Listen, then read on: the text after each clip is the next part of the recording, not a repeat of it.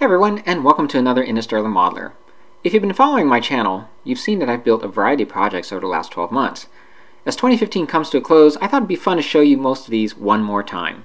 So, I've created this video as a review of my builds from 2015. I hope you enjoy it.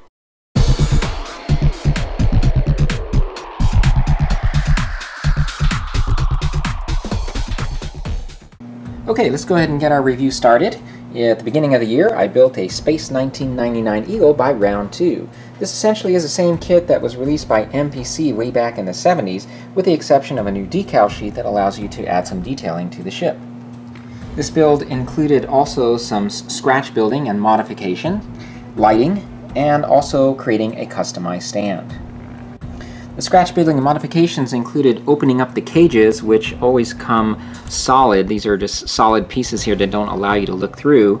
Uh, the one thing about the studio model is that the cages were open, and this allowed me then to uh, open them up and create some scratch built detailing on the interior. And I also added some scratch building here to the engines.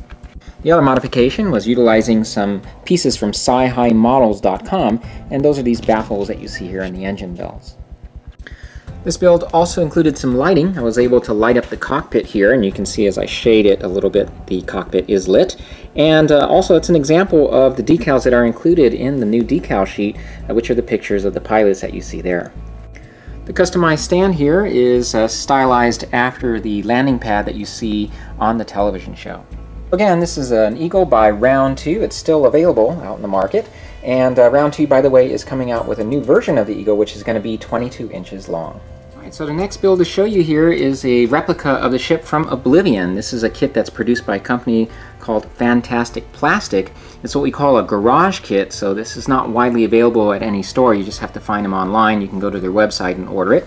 And uh, this model measures about 7 inches in length. So this particular build served as an example of what it's like to work with a resin kit. It had been a while since I'd worked with resin. And uh, the one thing that I did learn here was never to use super glue with clear parts because it caused the clear parts to cloud over. It's something I should have known. Um, I really didn't know that.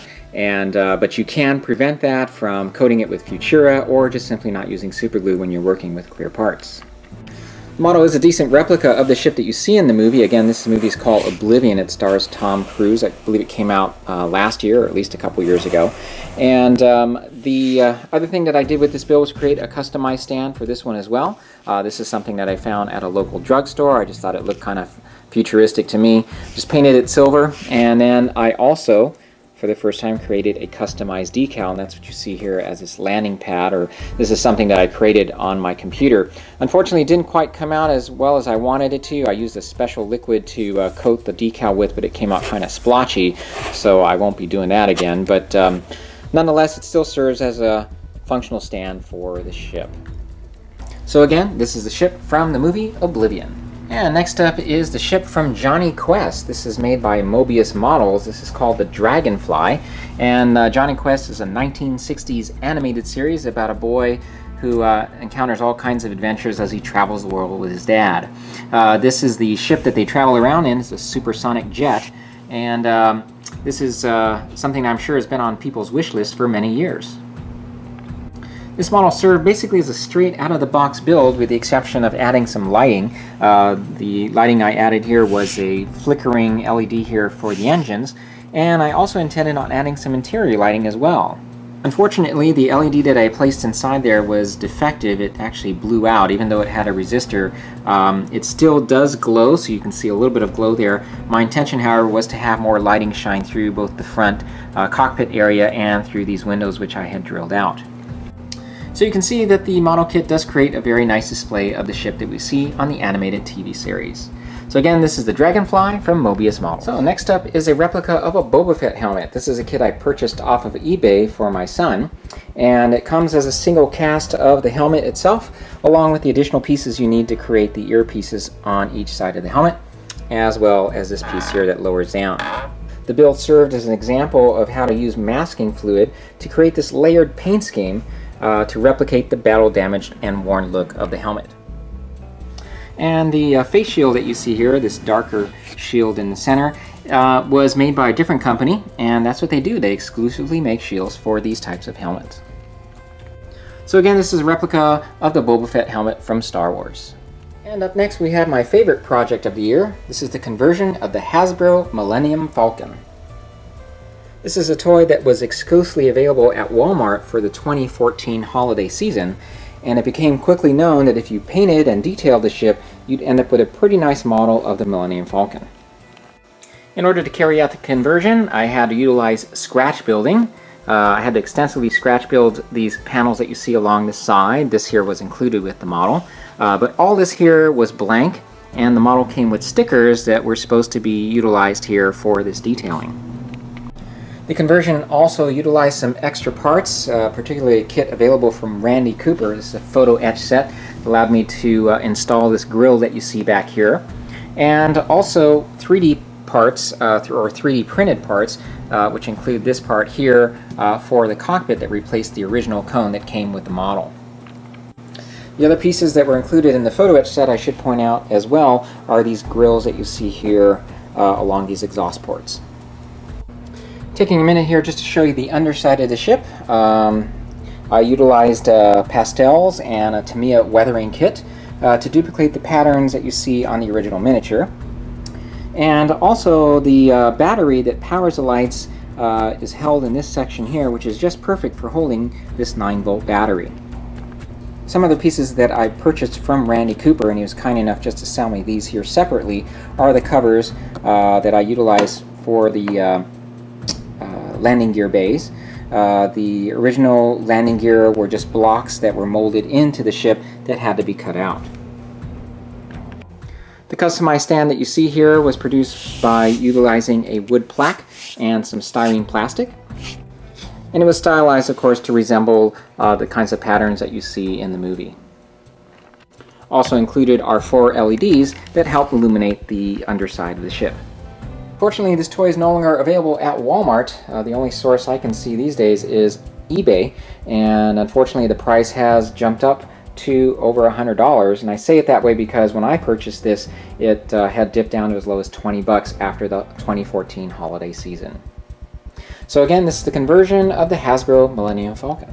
And next up we have a replica of the Ark from the 1950s movie When Worlds Collide. This model measures 10 inches in length from front to back and is made by Pegasus Models. So this was mainly a straight out-of-the-box build, um, but it did allow me for the first time to use a scribing tool.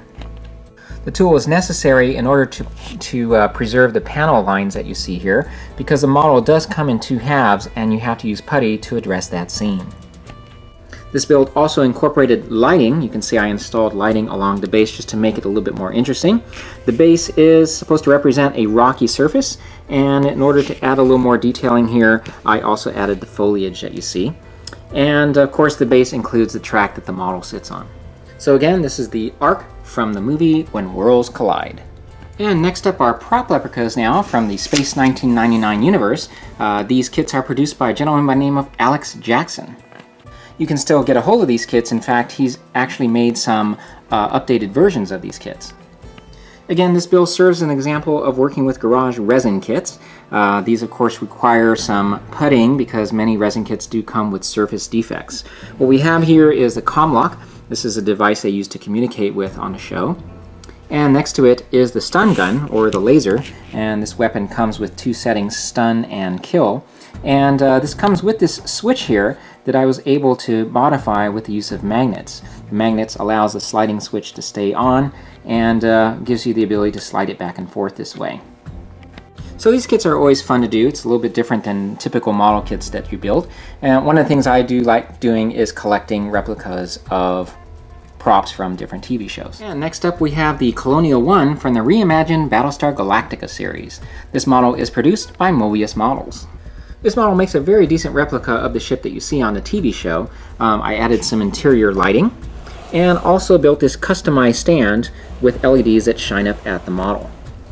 And the stand serves, as, again, as an example of how you can create something out of uh, a piece that's inexpensive. This is something I got, again, at a local drugstore. It's essentially a drawer organizer turned upside down here.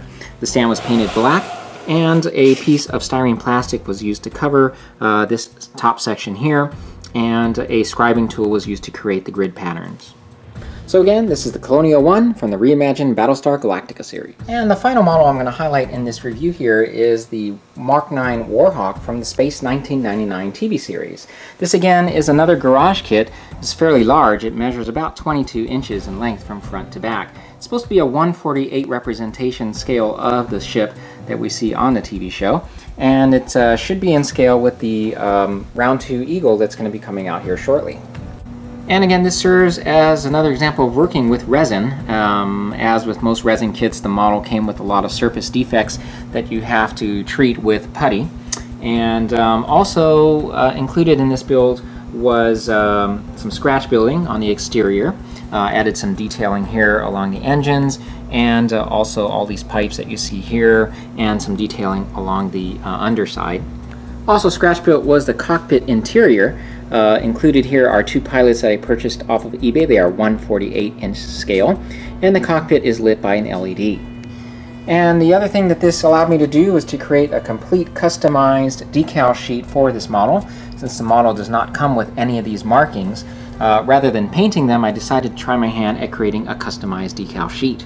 Uh, the decals work real well to replicate the markings that you see in the original studio model and additional decals were created for the underside of the ship.